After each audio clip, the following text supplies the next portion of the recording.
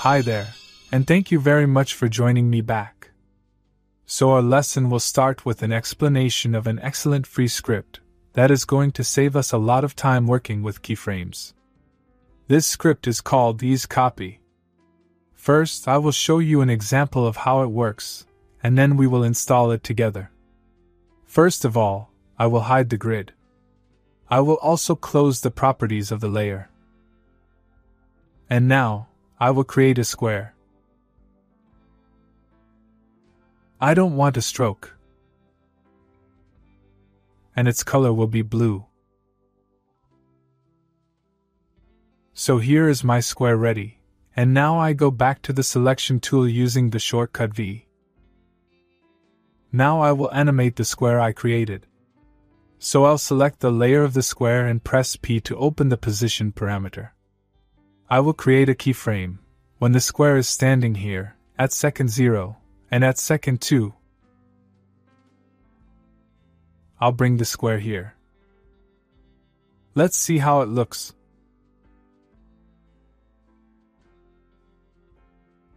Now I want the square to rotate while moving. So I'll press Shift R to add the rotation parameter. And now I want to talk about this parameter. We have two values here. The numbers with the degrees represent the degrees of rotation.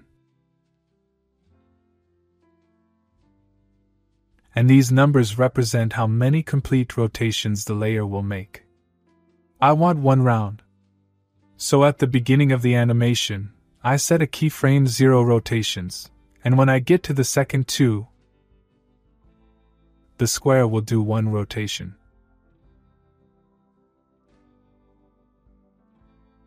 As you can see, the square rotated exactly one time. If I want to change the direction of the rotation, I can add a minus before this number. This way, the square will rotate in the opposite direction. And now, I want the square's keyframes to behave exactly the same way as the sphere's keyframes. Meaning, they will have the same easy ease velocity. So I can see what velocity I gave the dot.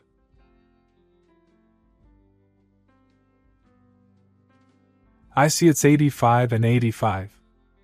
And now, I can select the keyframes of the square, change them to easy ease keyframes, and then change their velocity like the dot. Or instead of this whole process, I can use the script I have under Windows. It's called ease copy.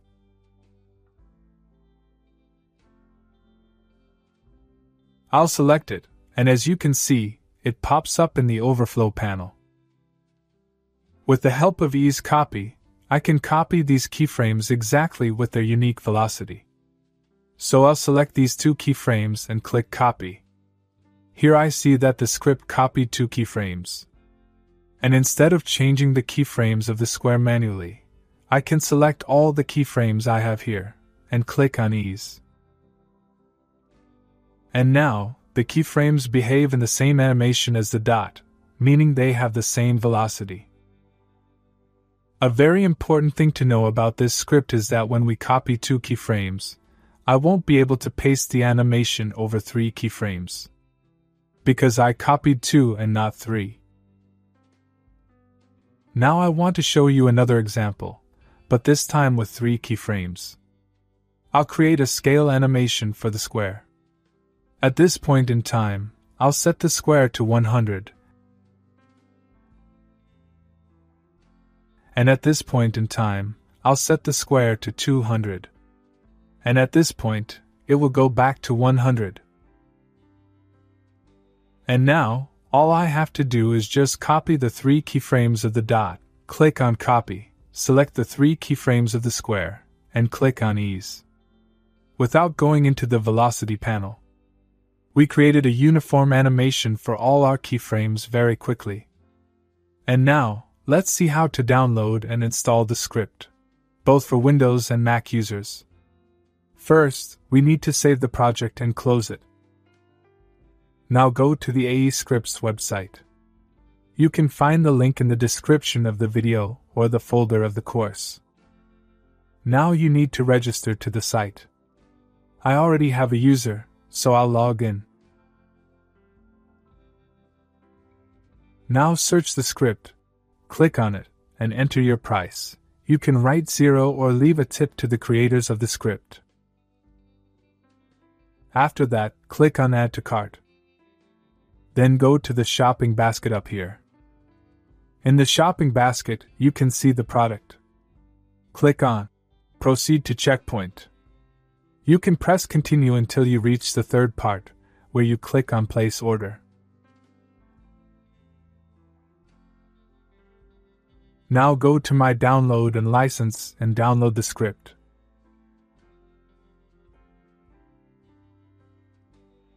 Choose a convenient folder for you and extract the WINRAR or zip file after downloading.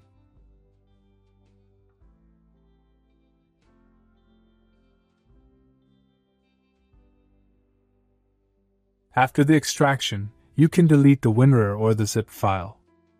Now go into the folder until you see the JSX file. You need to copy the JSX file and paste it into After Effects folder. First of all, you need to know where your software is installed. For Windows users, you can find it in the C drive, Program Files, Adobe, After Effects. On my computer, I decided to install all the Adobe files on the D drive. This is why I don't see the Adobe programs here. So I go to my D drive and open the folder from there. Now enter the folder support files, scripts, script UI panels, and paste the JSX file here. I already have the script, so that I won't paste it again. And for Mac users, open Finder, go to Applications, Adobe After Effects, Scripts, Script UI panels, and paste the JSX file here. And now, go to the folder you created for the course and open the After Effects file you created, called Class 0.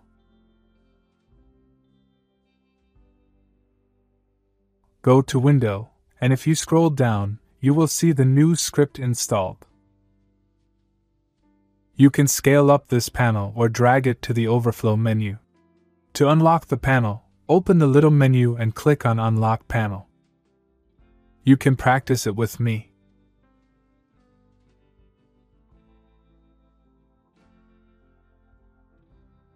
So after we've installed our second script, we can move on to create the cool downloader animation you see now in the example.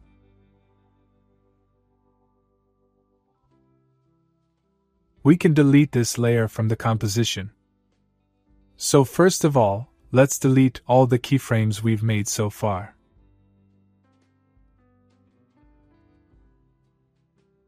And now, I have a question. What shortcut will we use to return the dot to the center of the composition?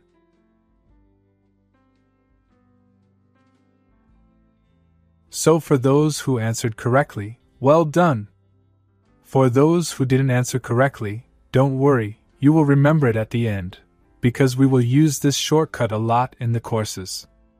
So I'll select the layer and press Ctrl Home. I could do it using the Align tool as well.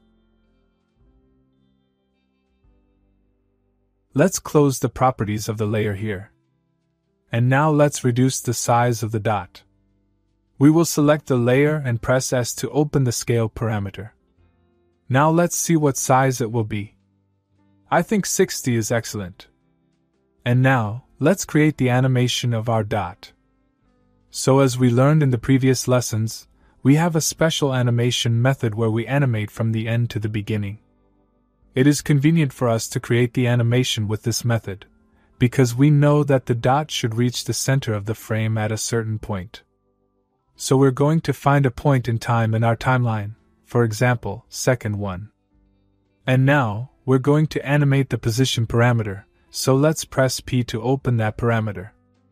Create a keyframe at this time code, and now I go to the beginning of the timeline and move the dot to be here. I move it while holding the Shift key to move it on straight axis. From here, I want the dot to start going out of the frame.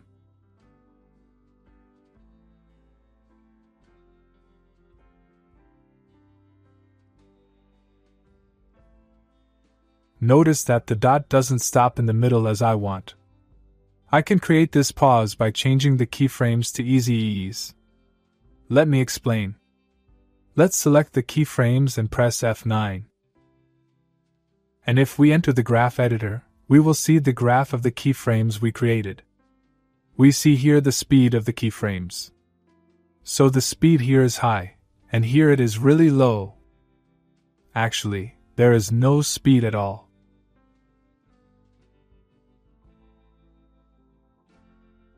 So here we have a little stop because we turned the keyframes from linear to ease. Now I can extreme the easing of the keyframes, so the pause be longer. Let's select this keyframe in the middle and pull this handle here. And this handle here. That way we increase the period of the pause.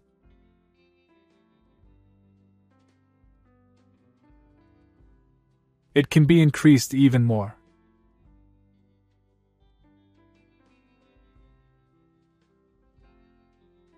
And now, I want to remind you how to do it without the graph editor. So I'll select my keyframes, and now I want to change the easing of those keyframes to normal. I'll press F9 again. Now I will double click on one of the keyframes while holding the Alt key to enter the keyframe's velocity panel. And here I will change the velocity to 85 and 85. Let's see how it looks in the graph editor. It will start slowly, pick up speed, and then repeat the same thing. Looks great. As we saw in the final result of this animation. In the end, we should have three dots and not one. So let's see how we do it. First, we need to duplicate the dot. The shortcut to duplicating layers is Ctrl D. Now I will press U to see the keyframes of the layer. The dots are on top of each other, that's why I don't see the new dot. Now we need slightly change the animation of the new dot. Let's go to the first keyframe of this layer, and change the position of the dot at this point. Let's move it here. And now I'll move forward to move this layer here, using the arrows, while holding the Shift key.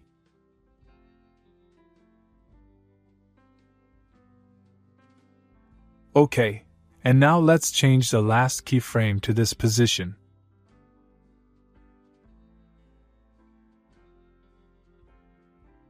Let's see how it looks. Now we will do the same for another dot. So we'll duplicate the first dot again. I'll place the new layer up here and press U to open the keyframes. Remember that it is very important to stand with the time indicator on the exact keyframe we want to change. So I'll move the first keyframe here.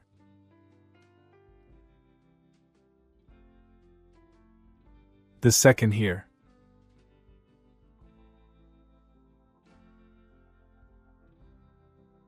And the last keyframe here. Set the preview to fit, and let's see what we come up with. Now I want to design the dots in a slightly different way. I will turn off the fill, so that they will only have a stroke. The stroke is currently large, so I will reduce it.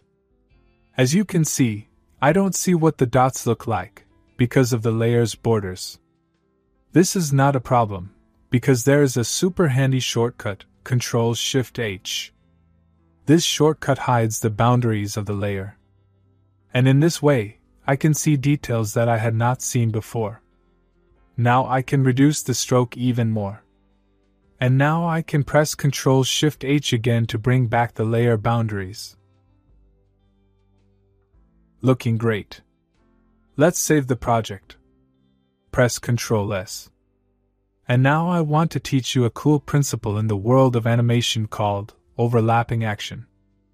Using this principle, we can create a more interesting animation by delaying our layers. Meaning that the layers will start moving one after the other, and not all at once. I'll show you what I mean. So, first, I need to arrange my layers in a certain order so that it will be convenient for me to work later. In my case, I want this dot to start the animation. So I'll move this layer below and change the name to dot 1. I'll call this layer dot 2. And this layer I will leave the name, because this is the layer that should enter last. Now I will select all the layers and press U to see all the keyframes. We can get a little closer. And now I'll move forward two frames and move this layer here. Move two more frames forward, and move the last layer here. What will happen now is that the first dot will enter the scene, followed by the second, and then the third, in one delay after another. Let's see how it looks. I think we can change the velocity to 90 for a more interesting animation. So let's select these keyframes, hold Alt, and double click on one of them. Change here to 90 by 90. And now, I will copy these keyframes using the script we installed earlier. Ease copy. I will copy the three keyframes from this layer and paste them to the two layers to maintain the same animation style. Excellent. Now let's use a cool effect called Echo. So let's go to Effects and Presets.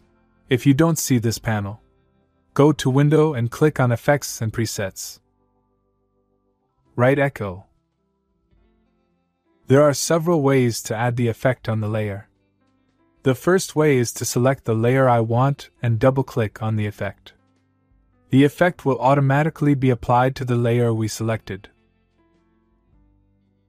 The second way, it doesn't matter to us if we select the layer or not, we can simply drag the effect onto the layer we want, and there it is, the effect has been added to the layer. The third way is to simply drag the effect directly onto the layer through the preview screen. Alright, so now, as you can see, the effects panel appears automatically. And he tells us that the layer called dot underscore 3 has an effect. I can see the effect here, or I can see the effect through the layer itself. It's less convenient to work like this, so I'll close everything here and go to work on the effect through the effects panel. Let's change the effects parameters to create a cool motion trail effect on the layer. We will change here to minus 0.001. Here we will change to 10 or 20. Note that this effect is making a hard time on the computer. And what it does is it produces a smear for the layer at the moments when the layer increases its speed.